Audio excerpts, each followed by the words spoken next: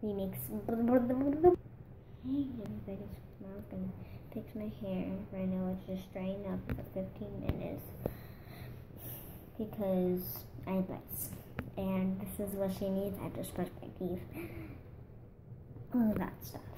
It's like, it's going to take really long. So, so I'm just sitting here. I was watching Funnel Vision. And I also watched your video, actually. It's about um, with the with blah blah. Sorry, I gotta go. This is.